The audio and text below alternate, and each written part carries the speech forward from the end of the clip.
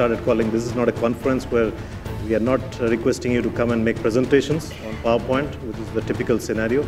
This, the idea behind this uh, conference is to have a conversation between all of us. So it's a converse, conversation come conference. We have for the retrofit also, uh, same thing, the target is 30,000 building by 2030. We saw that we are, most of the developers in Dubai, nobody is paying any attention to environment, nobody is paying attention to energy consumption. Environment CSR is a very fashionable statement. I wish uh, management would be more, uh, you know, proactive in doing that. Developers are desperate. The problem is that the level of know-how in the market is very low. And this is the vision of our uh, government to go to smartest city in 2017. We need to evolve our concept of district cooling towards uh, distributed energy power plants. There's no value engineering. All it means is making a building cheaper uh, by, and, and making a profit in the next two years rather than looking at the long term.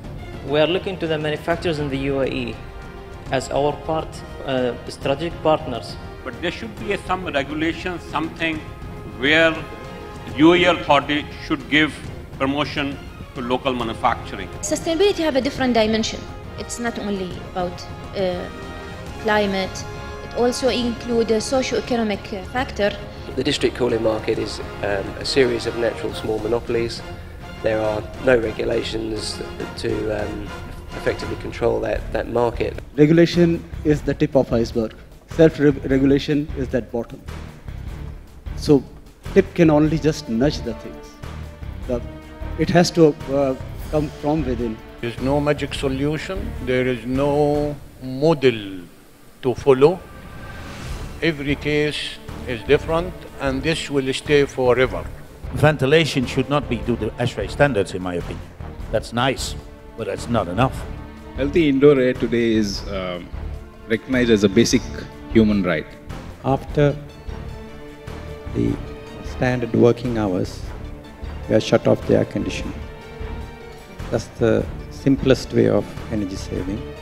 Closing the HVAC uh, system uh, cannot guarantee that mold won't happen. Uh, and I think everyone kind of knows that you either get good energy performance or you get good IAQ, but to balance the two is very hard. Currently, what's happening, the owner would uh, just ask them for a general maintenance contract and the lowest bidder will get the, the project. Essentially, this whole process is a developer driven process.